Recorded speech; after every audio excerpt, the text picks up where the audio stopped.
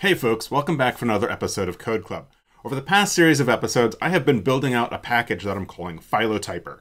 Uh, this is a R-based package that will classify 16S rRNA gene sequences. Again, if that means nothing to you, please keep watching because I think you'll still learn a lot about programming in R, package development, and all sorts of other good things along the way. In today's episode especially, we are going to be talking about joining two different data frames together using three different packages, or I guess base R and two other packages. We're going to be using um, uh, dplyr inner join, and we're going to be using data.tables join functionality as well. Um, I'm a big fan of data.table because it's really memory efficient and very fast. But we'll have to see if it's as fast as base R and dplyr's inner join. And so that's what we're going to do today. So let's head over to RStudio and we'll get going with today's episode. If you want to get access to all of the code that I am developing, down below in the description is a link to a GitHub repository for the project. You'll see a link for as the project stands right now, as well as what the project looks like at the end of the episode. So I encourage you to go check that out, clone the repository, and follow along, and, you know, perhaps propose some changes, propose some things to make my code run even better. So in the main phylotypr directory, you'll see that there's a directory called benchmarking. This is kind of where I'm throwing a whole bunch of benchmarking stuff, as well as a vignette that I am in the process of developing. And you'll see that I start this by loading the tidyverse, as well as defining a couple of files, the FASTA file and the taxonomy file. These are what I call mothur formatted files for doing classification. Um, again, uh, you can get directions to downloading these elsewhere in a previous episode. I'll let you figure that out. Um, but these are a FASTA file and taxonomy file. And so in the last two episodes then, we talked about reading in the FASTA data as well as reading in the taxonomy data. So I'm going to go ahead and do that. And so we'll go ahead and load FASTA and taxonomy and reading those in in these two commands. And if we look at FASTA df, we find that this is a data frame, um, and it's because it's a data frame, it's not as nicely formatted as a Tibble if you're used to working in the tidyverse, but this basically has um, two columns. So one column is the ID, so the sequence accession. The second column is the sequence. And I guess there's a third column, which are any comments, right? And so if I did like str on FASTA uh, df, then you'll see here that there is, yeah, a data frame with an ID column, a sequence column, as well as a comment column. All right, great. And so then if we look at genera, again, this is a data frame, really not nicely formatted for the screen, but I could do str on genera and see what this looks like. That again, we have a data frame with 24,642 observations, which is what we saw before for FASTA DF, with two columns or two variables, one being the ID and one being the taxonomy. One of the risks is that we, or a user, might read in the FASTA and taxonomy data, and those two files might have sequences in different orders. And so we want to make sure they're in the same order when we feed it in to build kmer database. The other risk is, besides being in different orders, that our FASTA file might have different sequences than, that are represented in the taxonomy file. So what I did in this vignette was to do an inner join where we took two data frames and joined them together, which would then give us four columns. So the ID of the sequence, the sequence itself, the comment from that sequence file, as well as the taxonomy. And as you can see here on lines 12 and 13, we use that seek table variable, that object, to pull out the sequences and the taxonomy. Because we did an inner join, we know that the data are in the same order, obviously, for those two columns. And so that's what I want to talk about today, is this step here. I don't think I'm going to add this join function to my package, but uh, it was kind of next in the vignette, and I thought it would be interesting to talk about the variety of ways that we have of joining different data frames together. So I'm going to go ahead and open up a new R script to demonstrate a few different things. So I'm going to start out with a couple of toy data frames. So data frames that we know uh, the structure and composition that will allow us to test different types of joins and make sure the joins are behaving the way we would hope they'd behave. All right, so I'll create one called animal legs, and this will be data.frame uh, as the function to create a data frame. And I'll then say animal equals, and then I'll give it a vector of values of different animals. And so I'll do cow, fish, chicken, um, dog, and let's do sheep. Uh, and again, this needs to be in quotes, so I'll wrap that in quotes. And then for another column, I'll do n underscore legs. And then we'll say a cow has four legs, fish doesn't have any legs, chickens have two, uh, all our dogs have four, and our sheep have four legs as well. So this again creates an animal legs data frame that you can see like this, right? Good. And then I'm going to do an animal sounds data frame. We'll do data.frame, and I'll do animal equals, and then we'll again put in a vector of animal types as well as the sounds. So I'll start with cow, and then I'll do chicken, I'll do cat, and let's do sheep, and let's do dog. Okay. So what I'm illustrating here is that I've got different animals in animal sounds than I have in animal legs. And that is to help demonstrate a variety of approaches for doing these joins. So then I'll do sounds, and I'll do moo, uh, chicken, I'll do cluck, cat, meow, sheep, baa, dog, bark. Um, all right, and so now if we look at animal sounds, we see this data frame, right? So again, we have animal sounds, we have animal legs right? And so we have these two data frames. They both have five rows, and we'd like to have one data frame, right? Where we maybe have a column called animal, and a column called n legs, and a column called sounds. And the other question you might ask then is how do we deal with the missing information where animal legs has fish, but that's not found in sounds, and animal sounds has cat, but that's not found in legs? And how do we deal with things being in different orders, right? So sheep and dog, uh, sheep, dog in sounds, and then dog, sheep in legs. So we'd like to join those together, okay? So we will start with the merge function from base R. We'll do animal underscore legs, animal underscore sounds, and running those together gives us what is effectively an inner join, right?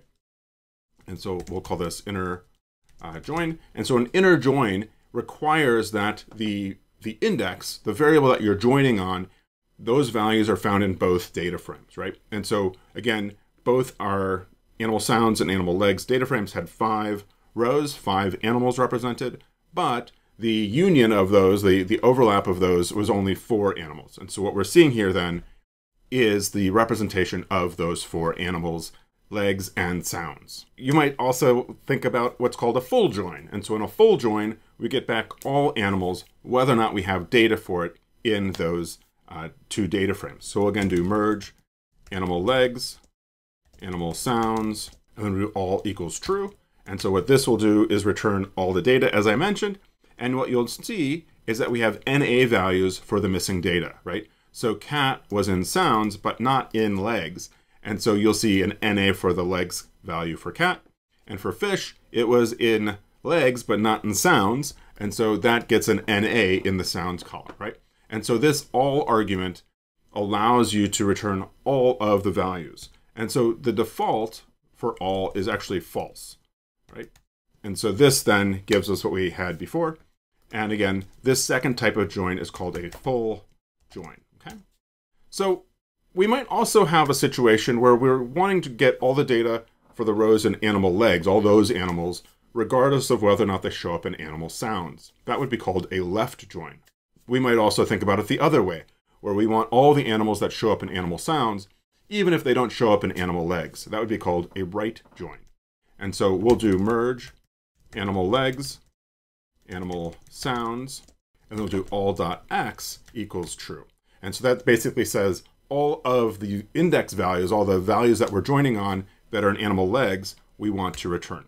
And so here we go. Sure enough, we get all the animals that were in animal legs right, show up. So we have those five rows.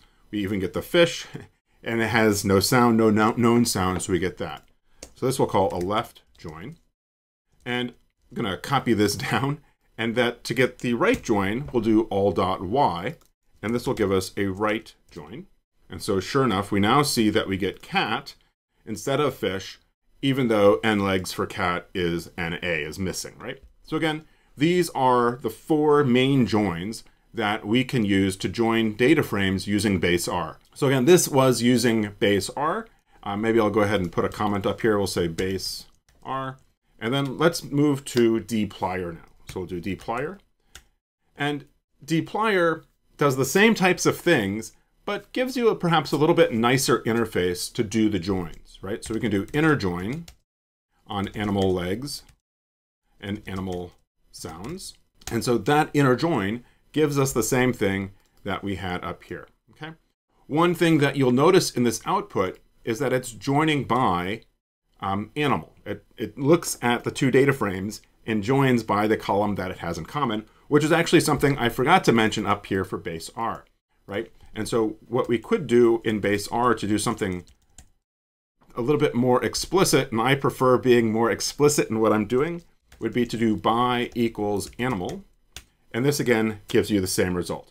But again, I didn't have to include animal in these four merge functions because it was implied, right? Because that was the same column name between the two data frames. Sit tight and I will show you what you do when you have different column names in your two data frames. Okay, so again, uh, there's a couple ways that you can write the syntax for specifying the column here. We could do by equals animal, and this gets us the same thing. We can also do what it suggested back up here, which was join by animal. So we can do by equals uh, the join by function with animal. And what you'll notice as being different between, say, this output with inner join, animal legs, animal sounds, is that here it tells us what it's joining by, whereas down here, when we tell it what to join by, it doesn't output anything, right? Um, and so again, I like to be a bit more explicit in defining how those columns um, are being set. So maybe I'll go ahead and move this up a bit uh, to kind of put it with the other inner join function, uh, just to kind of keep those things all together. Okay, so those are inner joins. Now, what about full join, left join, right join, right? And so now we could also do full underscore join, animal legs, animal sounds, and we'll do by equals animal. And this then gives us the results of the full join. Um, and if we do uh, the same thing, but if we do left join, we again get the left join, and we can again do right join with dplyr giving us the right join. So that all works really well. One thing that you might be curious about, again, this was our full join, uh, would be what happens if we reverse the order um, of our two data frames. That in some ways, a left join is really the, the flip of a right join, right? And so if we run it this way, then what we find is that the column order changes, right? And so when I had animal legs, animal sounds, it put the legs column before the sounds column. But then when I went sounds legs, it put the sounds column followed by the legs column. Cool. So again, that's dplyr and how you can do joins using dplyr. All right. So now what we want to do is move to data.table. So we'll do data.table. And to join data tables together, your data has to be a data table. Currently, we have a data frame. So I'll go ahead and do animal legs dt as data.table, data.table on animal legs. All right. And so now if we look at the output of this, we see slightly different syntax, right? This looks a little bit more like a tibble than like a data frame. Again, so animal legs looks like this. You'll notice that um, the data table puts numbers for each of the rows off to the left with a colon. It also includes the type of data contained within each column. This is very similar to what we might get if we did like, say, tibble animal legs. Um, and so, again, very similar to what we saw with data table. Normally, you might think about using tibbles with dplyr joins, but dplyr is nice in that you can give it a data frame or a tibble, it figures it out. But data table is not so nice. You have to convert your data frame into a data table. And so we'll also then do animal sounds dt as data.table, data.table on animal uh, sounds. Oh, and I misspelled sounds here. All right, oh, and misspelled it here too. My U key must be sticking. There we go. And so again, if we look at animal sounds DT, we get that. All right. one other thing that we can do that we've talked about in previous episodes when talking about data table is that we can set the key. So this would be the column, in our case here, that we want to join by, or what we saw previously that we want to search by. And so then we can do key equals, and we'll do animal. Okay. And so now if we look at animal legs dt, what we see is a special output at the top here saying key animal. And so let's do the same thing down here for sounds. We'll do key equals animal. And again, if we look at animal sounds dt, we again see the animal key. So one thing to know about data.table data tables is that um, if we write animal legs, use a square brace then, so there's a row slot, a column slot, and then there's a by slot, and then there's other arguments, right? And so this is kind of the general syntax of a data.table interface. Um, would really encourage you to, to look up data.table if you're interested in seeing another way of working with data frame data other than, say, BaseR or dplyr. Maybe in a future episode, I'll spend more time talking about that. So with this general syntax, we could say like animal legs, and then insert into that, um, and I guess that needs to be dt, right? We could then do animal sounds underscore dt. And so basically what you can think of this is this is going to take the keys from animal sounds dt. What is that? Well, that is the, the key column, right? And so that's going to then slot that into the row position of animal legs dt to return effectively the animal legs dt that have the animal sounds, right? And so what we find is, sure enough, we have the animal legs for the animal sounds, right? And so this is effectively, um, you could think of it as like a right join, where this is returning, this is this is the output here.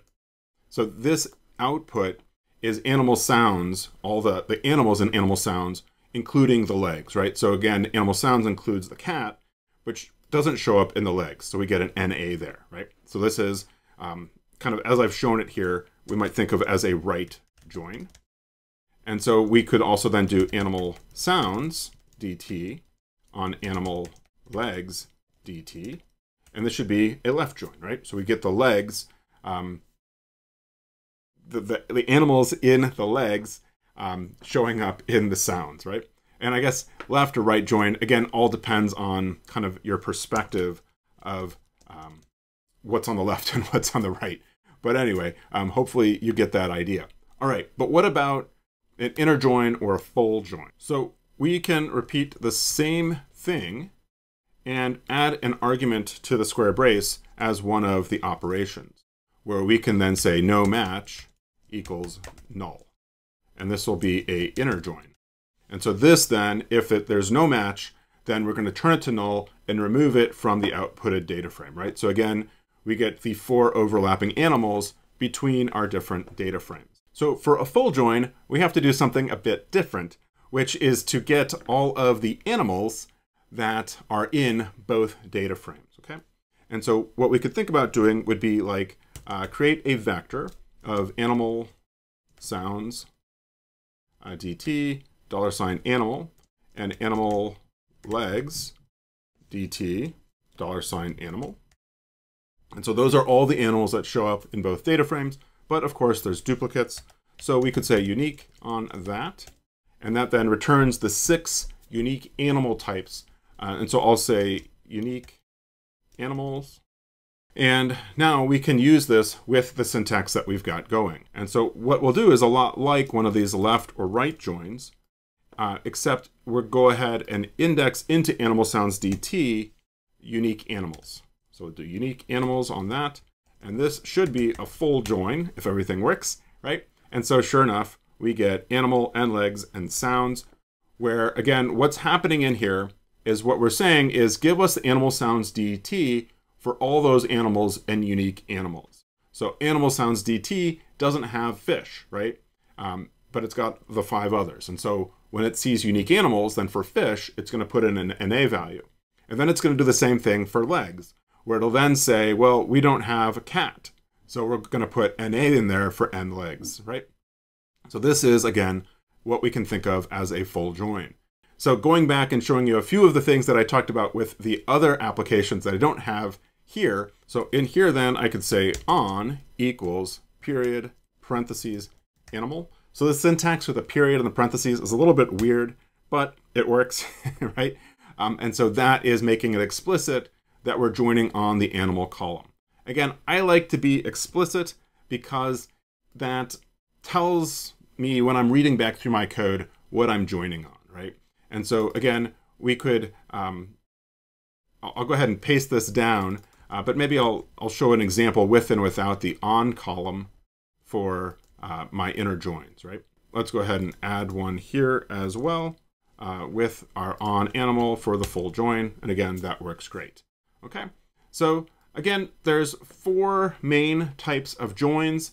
There's a left join where you're returning a data frame that has the index values in that column that are on the left side data frame, a right join where you do that with the right side, a full where you get back all of the values in those index columns, regardless of whether they show up in the two data frames, and then an inner where you only get back the things that are shared between the two data frames. There's additional um, joins, but again, I rarely ever use them, and it's beyond kind of what I want to do in today's episode. One final thing that I want to show you is what happens if you don't have the same column name in both of your data frames, okay? So I'm going to create um, another data frame called animal uh, pat. I'll say Pat's farm. All right, and I'll do data.frame, and then we'll do animal, we'll do animals, just to give it a little bit different, right?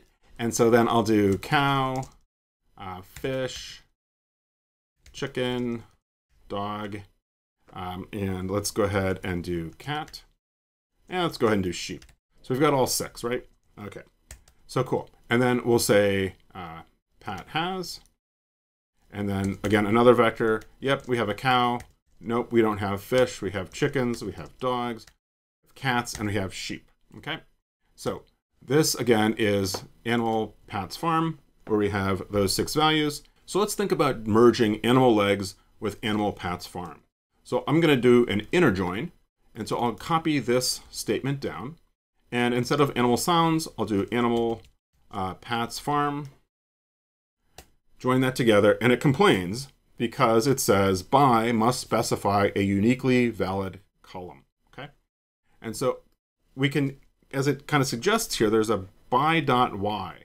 So we can do by dot x be animal, and then by dot y uh, could be animals, right? And so we can specify the column that we want to join together, join the data frames by, uh, using this by syntax. So x is going to be what's on the left, y is going to be the data frame or the column from the data frame on the right. Okay, cool. Um, and so again, we see that we now have this data frame with n legs Pat has, even though the original data frames didn't have the same column. So how would we do an inner join using uh, the same type of syntax with dplyr? So again, if we do animal legs and animal Pat's farm, this is going to complain and it's going to say by must be supplied when x and y have no common variables. Okay, so there's a couple of ways to do this. So I'll say this um, inner join errors. Okay, so let's go ahead and I'm going to go ahead and copy this inner join and we're going to fix it to make it look better, right?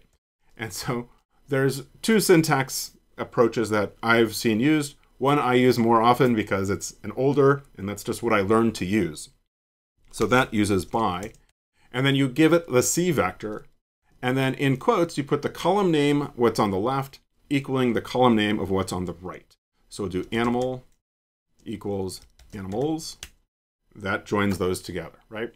So this syntax is a little bit uh, funky, right? Alternatively, let's go ahead and copy this down and we can do by equals join by, and it'll say animal equals equals animals, okay? And so that gets us the same result, right? And so again, these two approaches to specifying the columns you want to join together both work. What also works is using select or rename to rename the column, right? So we could also have said, taken like Animal Pat's Farm and changed the column name to be animal instead of animals. But then we wouldn't have had the fun of, of learning how to do this. All right, so how do we do that with data table then, right? So again, we're going to need to have animal Pat's farm, which is that, but we need to turn it into a data table. So we'll do dt, and then we'll do data.table, data.table. Again, I'm using the data table colon colon approach because I haven't run library to load data.table. That's basically how we've been doing things in our package development. And so then we'll go ahead and assign that uh, the argument animal Pat's farm, and I'll do key equals animals, and that's that. And so one thing we might be tempted to do would be to do something like um, animal legs dt, animal Pat's farm dt, because this is kind of the approach that we'd previously been using. Um, but then we also did like no match equals null. And so that actually does work because we then set the key with uh, key equals animals, right? So another approach that we could use if we weren't using the keyed column would be the same general idea. Um, and here instead we could do on equals, and then we can set the column in the two data frames by uh, setting them using the uh, double equals operator. So we'll say animal equals equals animals, and that should work. That works, good. And so again, the syntax is getting animal from what's on the left, animals from what's on the right, yeah? And so again, this is a great way to be more explicit about what you're joining on. At the same time, the syntax is a little bit funky, right? Anyway, hopefully this gives you a sense of how you can do these different types of joins. One thing I'll show you back up here um, with maybe uh, the, the dplyr approach is say we wanted to put all three data frames together, right? We could go ahead and take this, um, this statement. We could then pipe it. I'm going to use the base pipe to say another inner join with um, animal sounds, right?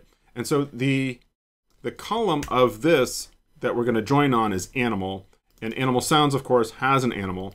And so we could say something like by equals animal, and that will join all of those together. Now, something to keep in mind is that when you use the pipe, what's coming through the pipeline goes into the first slot. So animal sounds basically becomes the Y argument, and what's coming through here is the X argument, right? So I tend to like to make it explicit that there's something going in there in the inner join. Um, and so it doesn't like this because it wants me to say, I think X equals that. So um, that's something you don't have to do if you're using the magrittr pipe, right? So the magrittr pipe being this pipe, right? Um, so let me kind of show that just for completion. Go ahead and pipe that. And so then um, in this case, the placeholder is a period. And so then that works, okay? So again, think about the output of these joins as being data frames or tibbles or data tables that can then be joined to other data tables or data frames or tibbles, right? Um, and so that gets a little bit more complicated. But returning to our vignette, this poor, humble, simple thing, um, we can kind of remove that pipe by doing like fastadf uh, genera, and then we're joining by the ID column that is shared between these two data frames. All right, so this is how you use the joins from these from two packages and base R. How do they perform? So I'm going to go ahead back to my vignette here, and we'll go ahead and grab these lines, and I'll plop them down here. And so we have fastadf and genera. And I'm interested in a inner join. And so what we'll do will be microbenchmark, uh, microbenchmark, and let's go ahead and set this up. And so I'm going to call this ij, and that's dplyr uh, inner join. And so let's, I think that looks good.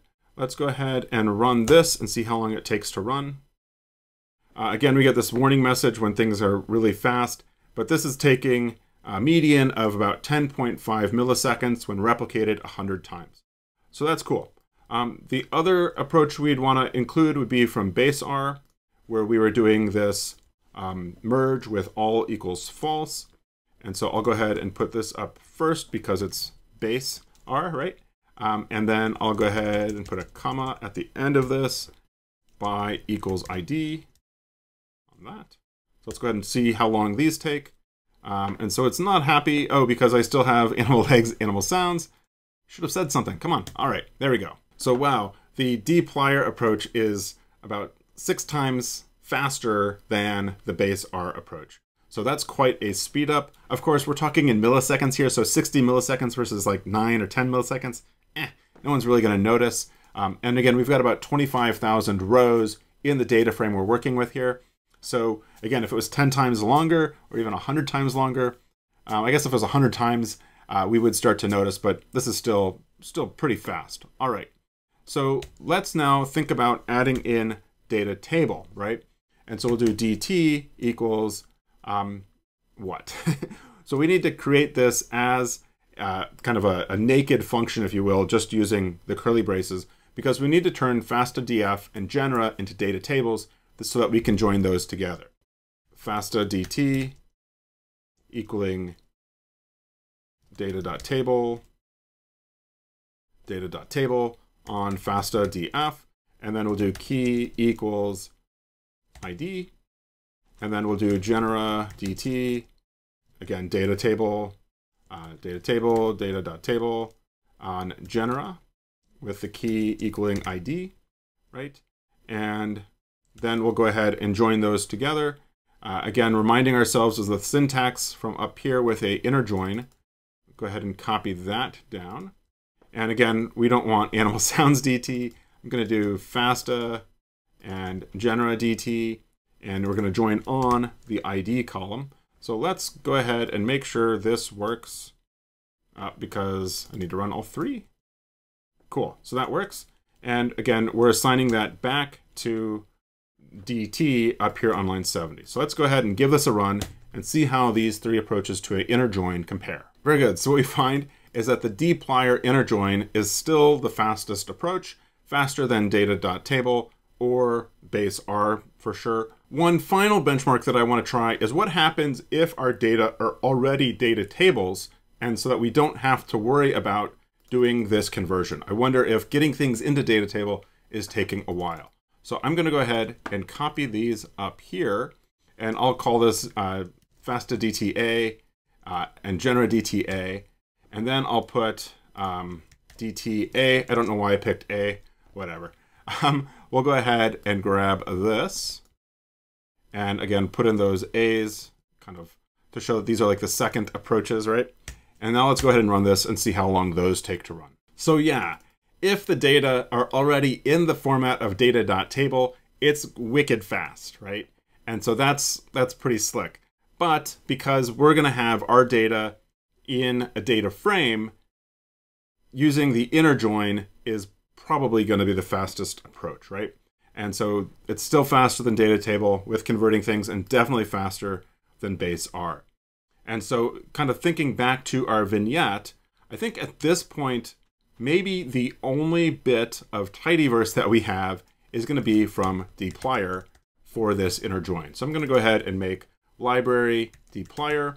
Um, actually, with this double colon syntax, I don't even really need library dplyr, but it's nice to have it here in case it's not installed. I'll go ahead and leave it there though so that people can see it when they're thinking about uh, what packages they need to have installed to get this all to work and that's pretty slick. So again, our seek table output is a data frame, which is gigantic.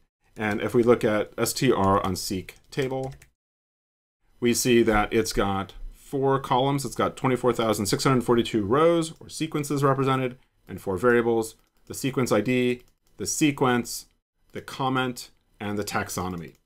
What we need, though, to get into build K-mer database is only the sequence column and the taxonomy column, okay? And so we've seen that if we run this, then everything should work smoothly, and we can then go ahead and classify our, un our unknown sequences um, like this, and that we can then look at our consensus sequence, our consensus classification, to see what type of bacterial sequence that we have. So that's all great. And again, I'm not going to make a special function for basically joining two things together, um, but it's useful to have this to make sure that our sequences and our taxonomy data are all in the same order. So this is as far as I'm going to take things today, Please make sure that you subscribe to the channel and you're telling your friends about all the cool stuff we're doing here, building out this phylotypr package. I look forward to seeing you next time for another episode of Code Club.